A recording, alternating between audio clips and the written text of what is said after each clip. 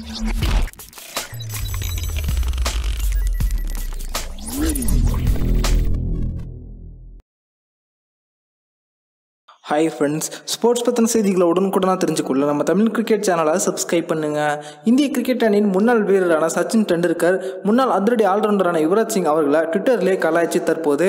அது தொடர்பான பதிவு தற்போது ட்விட்டரில் ரசிகர்களால் அதிக அளவு பகிரவும் பட்டிருக்கு. அது பற்றின முழுமையான விவரத்தை பார்ப்போம்.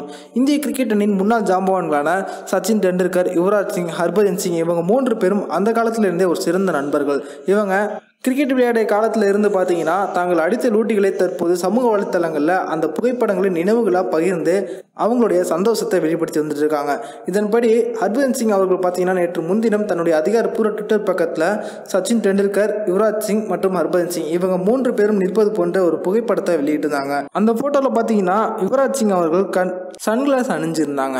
இந்த ஃபோட்டோவுக்கு பதிலளிச்சிருந்த யுவராஜ் சிங் அவர்கள் சச்சின் மற்றும் ஹர்பஜன் அவர்களை குறிப்பிட்டு என்னுடைய சன்கிளாஸை கவனிங்க அப்படின்னு சொல்லி போட்டிருந்தாங்க. இதற்கு பதிலளித்திருந்த சச்சின் டெண்டுல்கர் அவர்கள் என்ன சொல்லியிருந்தாங்க அப்படின்னா வீட்டிற்குள் இருக்கும்போது எதற்குப்பா சன்கிளாஸ்? அது மட்டும் இல்லாது யுவி கதிர்வீச்சு கூட உள்ளே வராதே அப்படின்னு சொல்லி அவங்க யுவராஜ் சிங் அவர்களை கலாய்த்து தன்னுடைய பதிவை வெளியிட்டிருந்தாங்க.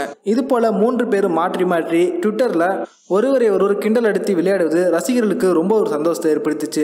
அவங்களுடைய பதிவை தற்போது கிரிக்கெட் ரசிகர்கள் எல்லாருமே அதிக அளவில் ட்விட்டரில் பகிர்ந்து வந்துகிட்டு இருக்காங்க. இரண்டாயிரத்தி பதினொன்றாம் ஆண்டு நடந்த உலகக்கோப்பை போட்டியை இந்திய அணி வெல்வதற்கு இவங்க மூன்று பேரும் ஒரு முக்கியமான காரணமாக இருந்தாங்க அப்படிங்கிறது குறிப்பிடத்தக்கது.